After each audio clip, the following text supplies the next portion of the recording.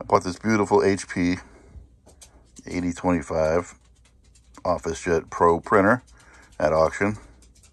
And much to my dismay, uh, I have this closed tray. Paper tray is open. Make sure the paper you want to use is loaded. And then close the tray to continue. That's what it shows on there. There's all kinds of stuff on the HP website where they don't know what it is. They can't tell you, whatever. First thing you need to do is pull your tray. When I pulled my tray, I discovered that somebody had snapped off these two little legs, arms, whatever apparatus here at the back of the tray.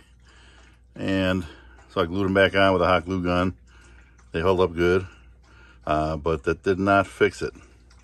So I looked at a couple more videos. And what you need to do on the left one as you're looking at it from the front of the tray, this one, there's supposed to be a piece sticking out this way, like that. And I'm going to go ahead and glue that on, and I'll show you what it activates here in a second. All right, that part that protrudes off of that arm on the paper tray should move in and depress that little black piece right there, to square in it, over the screw. And when I do that,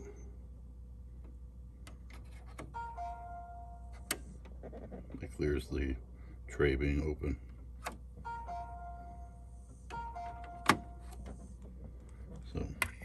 That's that. Let me glue that piece on see if it works. There's how I did it. I look down the paper tray from the front to the back. There's a groove running through that little arm, leg thing. And it looks like my dog's a little itchy under the table there. I just glued a piece of plastic in there, something that'll reach and make contact with the one up in there.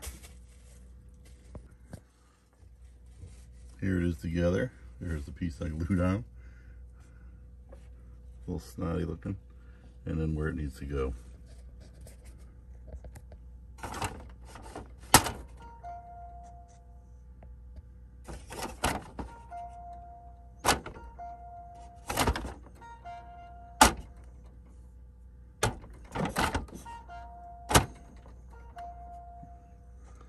Let's put some paper in this thing and give it a shot.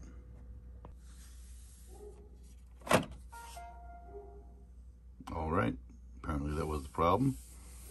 If you take those simple steps, you'll be back to printing in about five minutes if you have a glue gun. Uh, if not, there's a part you can order on the HP site. Um, I don't see any reason to do that though. Happy printing.